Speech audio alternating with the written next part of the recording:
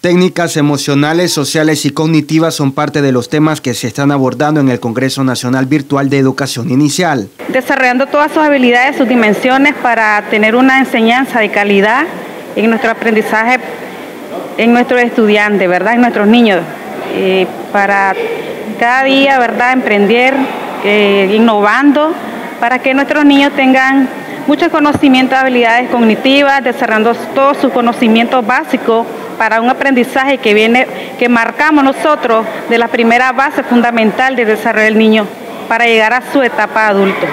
La niña se ha venido preparando con anticipación a este encuentro porque van a presentar trabajos utilizando las nuevas tecnologías donde vamos a compartir con nuestros niños y niñas las actividades que realizamos, no solamente en la escuela, sino dentro de nuestra familia, la escuela y la comunidad.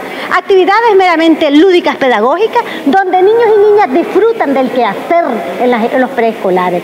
Es más, el día de hoy vamos a ver talentos especiales, educadores y maestras conversando, realizando entrevistas donde el trabajo que se realiza en nuestras escuelas es compartirlo en este momento. En Nicaragua hay más de 10.000 preescolares comunitarios. Les informó Oscar Morales.